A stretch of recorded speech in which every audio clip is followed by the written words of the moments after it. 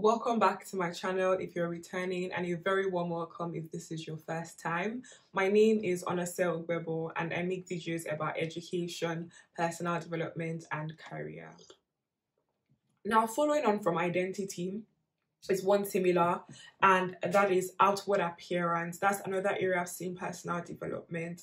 So for me in growing I wanted to start from a place where I felt beautiful, I feel confident, or I feel beautiful, I feel confident, I feel assured, secure, first on the inside before the outside. So if you have nice clothes, you know you have nice shoes and all of that, but you don't feel beautiful inwardly like you don't you don't have a strong sense of identity or self-worth on the inside then those external things wouldn't wouldn't really help much so i say to myself you know having or going through this journey of um, understanding my identity and you know having building a strong identity rather or having a strong sense of identity. I say to myself honestly whether i say Birkin bag or a primark shoe you are who god says you are and you are beautiful.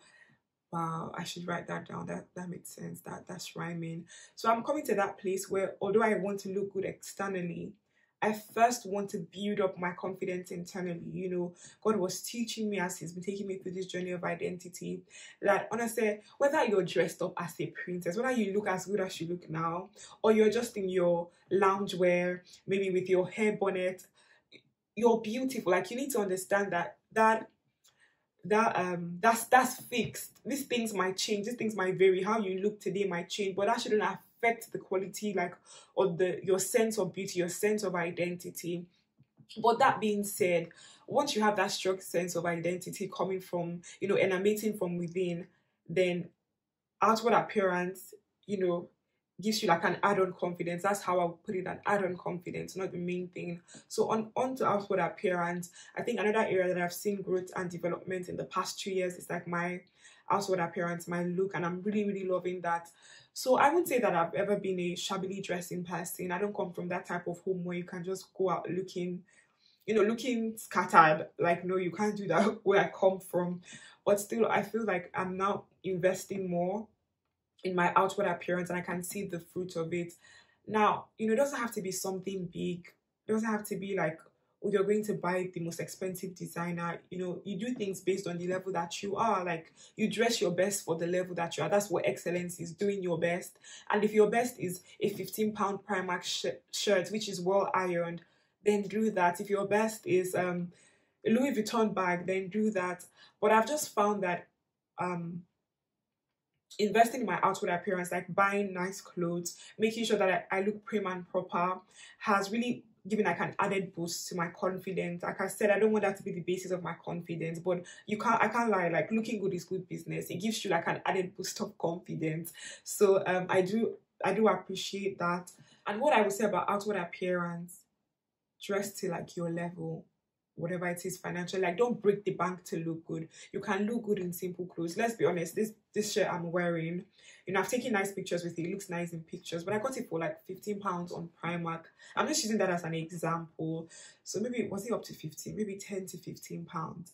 So it's not always in it's just in the in the quality the good quality of the things she wears not always in the most expensive. It's just the intentionality in taking your time to present yourself properly. And is not just for girls, because I know that a lot of emphasis is placed on how girls look, but just for human beings in general. Like, have you made sure that you're going out like your hair isn't flying everywhere? Like, you look the best that you feel that you can look at that given time. That's what I'm going for.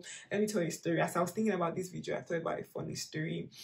So, like I said, I started investing in my but how my outward appearance, how I look, even if I was going to that grocery store or I'm not going anywhere fancy or anything, I don't have a full face bit on. I just make sure that, you know, I'm dressed nice, my my socks are clean, you know, my shirt is ironed. I just look decent. And I remember that while I was viewing properties around summertime last year, I was going to for a viewing, nothing serious. Nobody was going to see me. I wasn't going out. Like I wasn't having any plans afterward.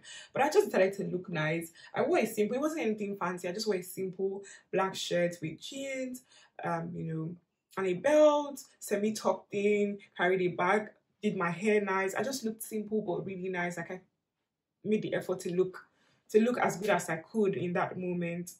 And funny thing, I met my ex crush. Well, I call him my ex crush something to that effect, you know. and let's, let's just call it my call him my ex crush. I met an ex crush um, attending the same viewing for the same property. Like, what are the odds? And this person is from Nigeria. Like, I met this person in Nigeria, and this person had later moved to the UK, but I mean, you, you understand the United Kingdom is so big. So, like, what are the odds that this person I haven't spoken to in a while, I haven't seen physically for in about a couple of years, I would just meet them at this viewing. And I can't lie, I felt gassed that I looked good that day because I was like, yeah, honestly, you see, looking good is good business any day, anytime. So that's just an example. You walk, your head is held up a bit higher when you're you're well put together. And like I said, doesn't have to be something expensive, but just investing in your outward appearance will give you an added boost of confidence. The final area that I would say I have seen growth and development, especially in the past year, is in my spiritual life. So as a person of faith, my spirituality is at the core of you know who I am, the things that I do, and I know that um during the pandemic here, like I have talked about many times on this channel, it was a bit of a struggle being by myself. But I found that now that we have eased out of the lock, eased out of lockdowns and whatever not, just having community has really helped like my spirituality building daily practices just having a, a really strong community of people that share my faith that encourage and support me. You know in my faith i found that has brought about a lot of personal development um within me. So like i said my faith being at the core of everything that i am it feeds into every aspect of my life. So if i believe that i'm a representative of jesus you know i want to be at my best most of the time. I mean you may not always be at your best all of the time, but you want to put your, you know, your best foot forward. You want to be an ambassador of Christ, like represent him in the way, you know, that his Bible says that as we behold him, we become.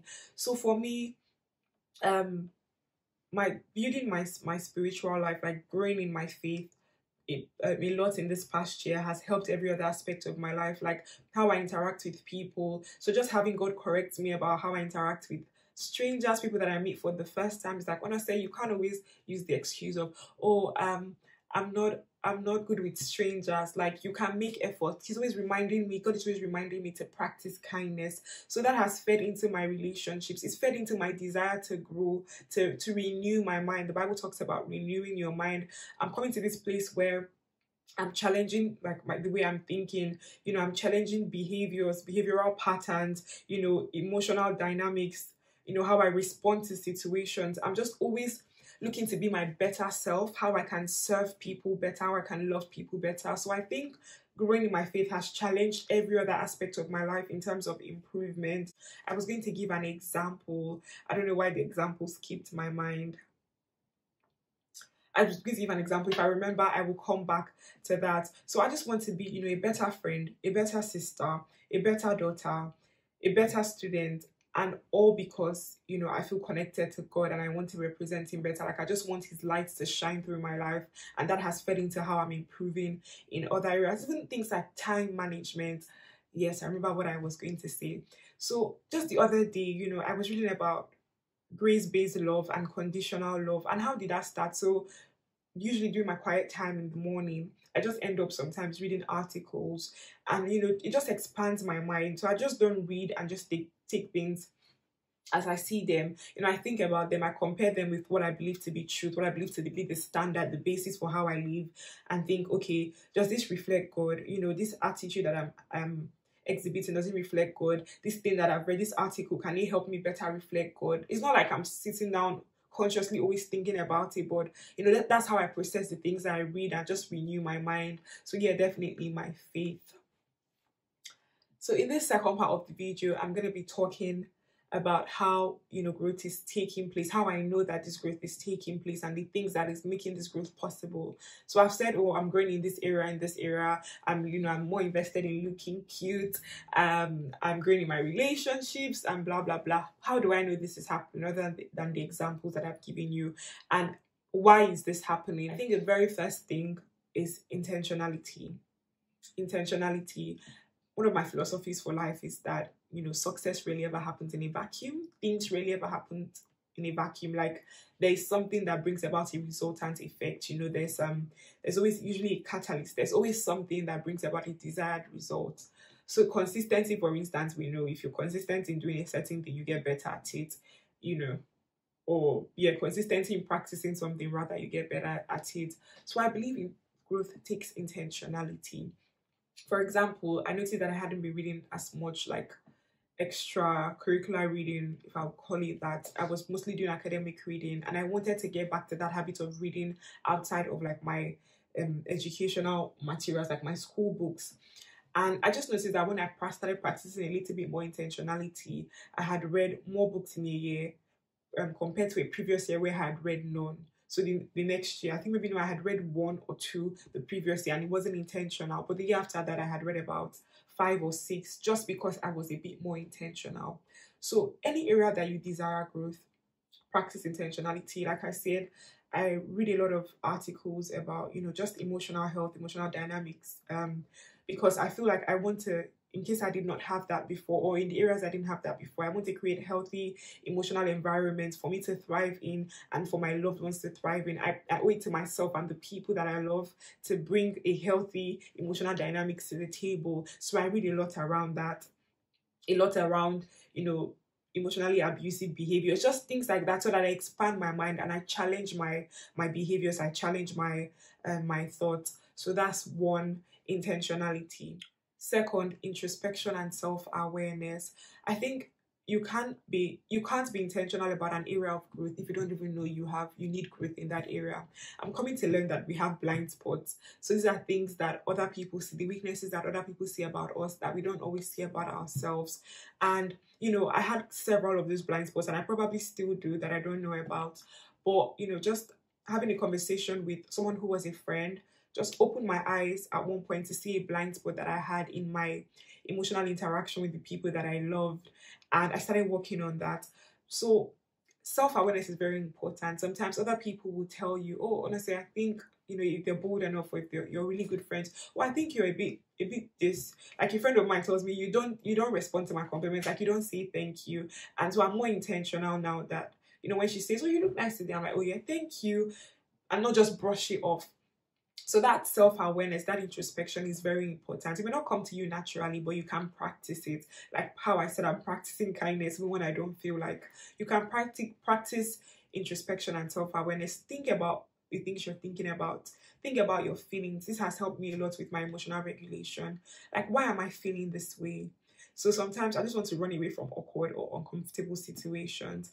But growth doesn't always happen in your comfort zone. So when I realize, I think about it, I realize, okay, honestly, you want to run away from this situation because of this.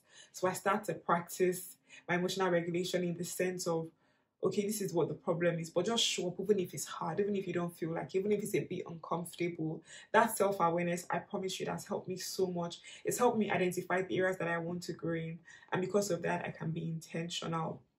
Another thing that I would say helps is community, having people around to hold you accountable, to say, wow, that that thing you did was wasn't it at all?